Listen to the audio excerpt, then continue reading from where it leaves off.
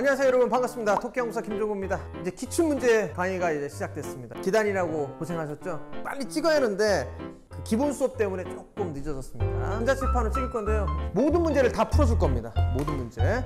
근데 이 강의 들으려면 여러분 두 가지가 있어야 돼요. 바로 필리노트가 있어야 하고요. 기출문제집 최신 기출문제입니다. 요 있죠 요거? 새로 나온 거. 요걸로 이제 촬영이 진행됩니다.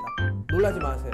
모든 문제 다 풀어줍니다 와 소리 막 들리네요. 이거 혼자 풀기 너무 힘들잖아. 그래서 저하고 함께 제가 모든 문제 이제 다 풀어줄 겁니다. 깔끔하게 이렇게 파워포인트로 제가 이게 진행을 할 거예요. 파워포인트로 이렇게 진행을 할 거니까 여러분 이렇게 지금 강의를 찍었습니다. 책 없어도 들을 수 있을 정도가 될 겁니다. 저한테 가장 질문을 많이 한 게 기출문제 어떻게 푸냐 이런데 정 힘들면 풀어오지 마세요. 저하고 함께 풀면 됩니다. 웬만하면 풀어오는 게 좋고 못 풀 경우는 같이 풀면 됩니다. 제일 중요한 건 여러분 문제풀이 스킬을 이제 가르쳐 줄 거예요. 그리고 제가 하고 싶은 말이 이거예요. 일회독 하시면 여러분 많이 틀립니다. 걱정하지 마세요. 일회독은요 소개팅하는 아, 처음 만나는데 문제 처음 보는데 어떻게 해요, 여러분 문제 한번 보는 거예요. 틀리는 게 당연합니다. 그러니까 그거에 멘탈 나가면 안 돼요. 그리고 이회독부터 이제 데이트 하는 거야 데이트. 여러분 서로 알아가는 단계. 이렇게 여러분이 문제 진행하시면 됩니다. 그렇게 총 몇 회?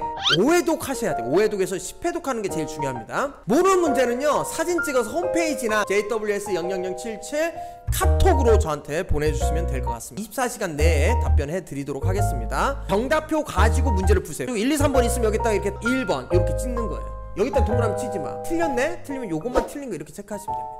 자기가 잘 모르겠다. 여기는 밑줄 쳐도 돼요. 여기는 지저분하게 해도 됩니다. 문제는 건들지 마라. 왜? 5회독, 10회독 해야 하니까. 나는 지저분하게 풀고 싶다. 그럼 기화펜 사세요. 기화펜. 많이 들었으면 좋겠네요. 이번 강의. 좀 준비 많이 했거든요. 근데 많이 했는데 안 들으면 슬프잖아. 슬프잖아. 그쵸? 슬프니까 여러분 꼭 들어주시고 일주일에 다섯 개에서 여섯 개가 업로드 될 겁니다. 들으실 거죠? 오케이? 오케이. 좋습니다. 기출문제 풀이 시간에 만나 뵙도록 하겠습니다. 하나, 둘, 셋. 하오!